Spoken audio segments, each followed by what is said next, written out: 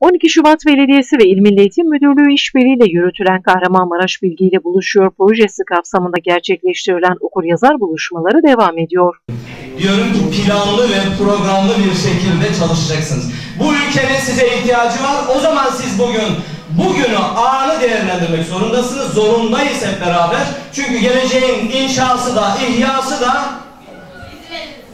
Proje içerisinde yer alan ve öğrencilere ulaştırılan Çılgın Okul kitabının yazarı Duran Çetin, Nuri Pakdil Ortaokulu'nda öğrencilerle bir araya geldi. Türkçe bizim iletişim ve etkileşim dili. İletişim ve etkileşim dilimiz.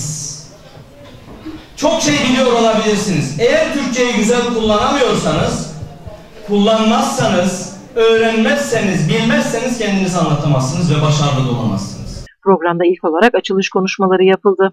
Bugün de değerli okul müdürümüze ben sordum. Hocam kitap okuma yarışmasına giren sınıflarımızla diğer sınıflarımızı kıyasladığımızda okuma yarışmasına giren, okumayı önde tutan öğrencilerimiz ikinci TEOK'ta büyük bir sıçrama yaptı. Sizler de 7. sınıftasınız değerli öğrenciler.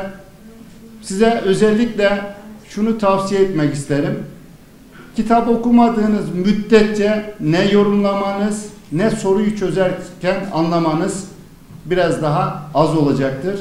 Yazarımızla inşallah güzel diyaloglar kurar, güzel sorular sorarsınız.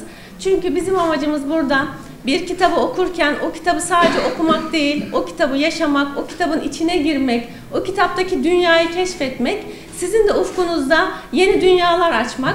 Ee, Çılgın Okul kitabıyla yeni dünyalar açıldığına inanıyorum. Ee, bunu sınavla da pekiştirmiş olacağız. Ee, inşallah bu yıl bu sınav e, bu kitabı okuyan 7. sınıf öğrencilerimiz seneye TEOK'ta onlardan derece bekliyoruz. Onlardan bütün soruları tam yapmalarını bekliyoruz. Renkli görüntülere sahne olan okur-yazar buluşmalarında öğrencilere okumanın değerini ve önemini anlatan Çetin, okuyan, düşünen, fikir üreten insanlar olmalıyız. Bütün mesele bu dedi.